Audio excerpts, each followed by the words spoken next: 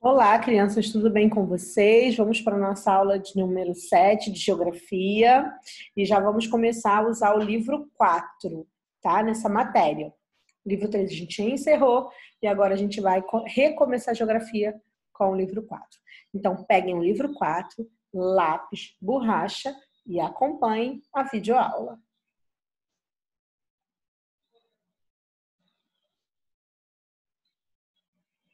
Bom, a nossa atividade de hoje em Geografia é atividade 19 e a gente vai falar sobre economia e sociedade. Bom, o maior responsável pela modificação do ambiente em que vivemos é o trabalho realizado pelo ser humano, né, que vem modificando todo o ambiente, modificando o mundo, as estruturas, desde o início da humanidade. Mexendo no solo, retirando os produtos, né, os recursos minerais para o seu próprio, é, as suas necessidades, ou para transformar em produtos, ou para utilizar da maneira como é, achar melhor. Que a gente tem três tipos de atividade de trabalho humano: a pecuária, o comércio ok? Que é a compra e venda, e que foram utilizados recursos da natureza, foram tirados recursos da natureza para a fabricação desses produtos.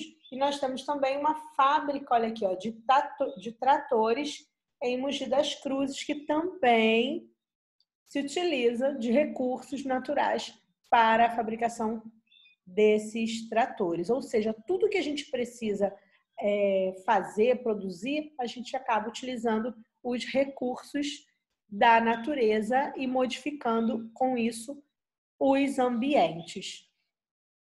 E todo esse conhecimento que vem sendo construído desde o princípio da humanidade, ele não, ele não, ele não para e recomeça, ele sempre evolui, porque vai sendo passado de geração para geração, o aprendizado, o conhecimento, as descobertas vão sendo passadas e você vai só ampliando, as gerações vão conhecendo mais, ampliando mais as possibilidades. Existe também um trabalho intelectual, que é o trabalho que vocês fazem, né? O, tra o trabalho do estudante é um trabalho intelectual. Vocês não, não recebem remuneração por isso, vocês não recebem salário, mas vocês estão trabalhando e recebendo é, com esse trabalho de vocês o conhecimento, se apropriando de conhecimento para mais tarde utilizarem em forma de trabalho é, é, formal mesmo, que a gente vai conhecer aqui, podendo, né, possibilitando aí receber um salário. Lembra é, do significado da palavra salário? Da onde veio isso? A gente já estudou. Veio lá da, do início, quando eles começaram a trabalhar com o comércio, com as trocas, e o sal era uma das moedas é, de troca era, era uma das moedas como pagamento, tanto pelo trabalho quanto para comprar é, os produtos necessários quando não existia ainda a moeda de metal, nem as notas que a gente tem hoje.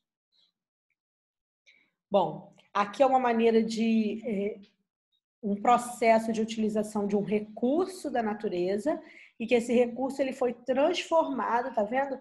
para a utilização do ser humano, ou seja, todo o trabalho que o ser humano tem sempre é para produzir algo para sua própria utilização, seja ele intelectual ou seja ele um trabalho manual, formal, que você vai utilizar no seu dia a dia como produto. A gente vê aqui um exemplo de um trabalho manual e aqui um trabalho formal. Um trabalho material. Tá?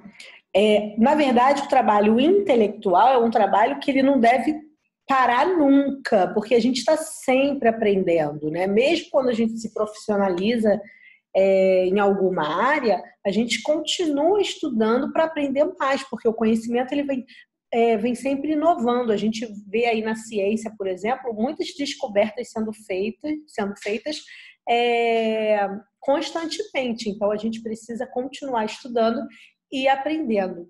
Esse trabalho intelectual ele vai gerar valor para a gente. Aliás, todo trabalho é, que gera um valor, seja ele de, a nível de conhecimento ou financeiro, é, gera atividade econômica para o lugar, né, para a sociedade onde a gente vive. Algumas pessoas têm condição de estudar, estudar, se formar, é, estudar até se profissionalizar sem ter que trabalhar. Outras pessoas não têm tantos, né, tantas condições assim, tanto privilégio, precisam também, já na sua juventude, além de estudar, trabalhar para manter até mesmo o seu estudo e a sua é, sobrevivência. Tá? Aquelas pessoas que trabalham, elas entram num registro.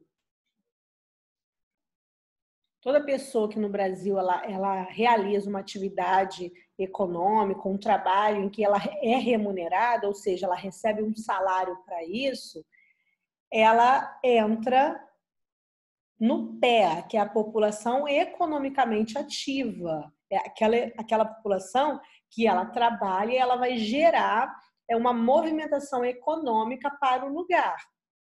Agora, existem pessoas é, que nem estão é, à procura de emprego, são crianças ou os aposentados, né, as pessoas mais idosas. Então, eles entram aqui no registro do PEI, população economicamente inativa.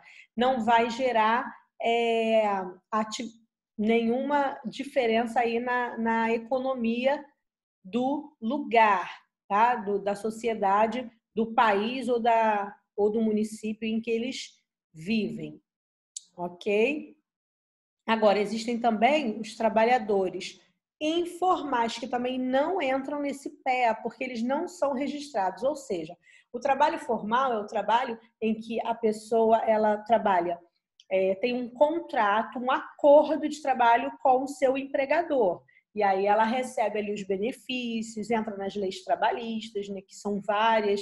É, a, a, lei do existe a lei do trabalhador com vários benefícios para o trabalhador, inclusive o registro dele é, diante aí do governo. Pode ser na carteira de trabalho, pode ser no contrato. Agora, os trabalhadores informais são aqueles que não têm vínculo empregatício, ou seja, eles não têm acordo nenhum com empregador. Geralmente, eles são os seus próprios empregadores, eles trabalham para eles mesmos e não tem nenhum registro no governo. Isso é, traz, de certa forma, apesar deles é, também fazerem diferença econômica, eles não entram no registro do governo e não têm os seus direitos como trabalhadores é, adquiridos. Tá? Vamos agora para as atividades? Na página 223, nós temos algumas imagens de trabalhadores. A gente vai dizer se é um trabalho material ou um trabalho intelectual, ok? Então vamos lá. Pedreiro é um trabalho que, apesar dele ter que pensar bastante, o produto, o que ele produz é um, um, resultado aí material. Então, produto material. É de acordo com o que ele produz, tá? Porque todos os trabalhos precisam também do intelecto. Uma juíza. A juíza faz o quê? Produto intelectual. Ela precisa ali é, trabalhar com os processos, pensar, ver, é, interagir com as pessoas. Produto intelectual. Os médicos, os médicos, produto intelectual. Também vai, vai lidar ali com as pessoas, diretamente com as pessoas do serviço, é, vai gerar é, algo para as pessoas. Ele precisa utilizar o intelecto, também tudo que ele aprendeu para é, produzir saúde né, nos seus pacientes, salvar vidas. Um engenheiro, ele vai construir, né, seja o que for, pode ser um engenheiro mecânico, ele vai construir coisas, né? Então, produto material. Metalúrgica, que trabalha lá com os ferros, solda, enfim, é um produto material. Tá? Defina os seguintes itens: trabalho formal e trabalho informal. Vocês entenderam que o formal ele tem um vínculo com é, o empregador, tem registro, ele é reconhecido pelo governo como alguém que trabalha e ele tem direitos. O governo ele, ele é, é, arrecada né, impostos referentes a esse trabalhador e depois ele vai é, transformar esses impostos em benefícios para o trabalhador. O informal não tem esses benefícios. Então, ó, o trabalho formal é o trabalho em que o empregado tem um contrato assinado com o empregador. E o trabalho informal é o trabalho em que o empregado não tem um contrato formalizado com o empregador. Tá? E agora vocês vão fazer os exercícios propostos das páginas 224 e 225. Na 224 é realizar uma entrevista, tá, com seus familiares, com as pessoas que moram com vocês sobre o trabalho. Aí vocês vão ler direitinho na 224 qual, qual é a entrevista, qual é o assunto direitinho. E na 225 é uma para marcar uma múltipla escolha, para marcar ali o produto que intelectual, né? Uma produção intelectual, um trabalho que produz algo intelectual, tá bom? Um beijo e até a próxima aula de geografia.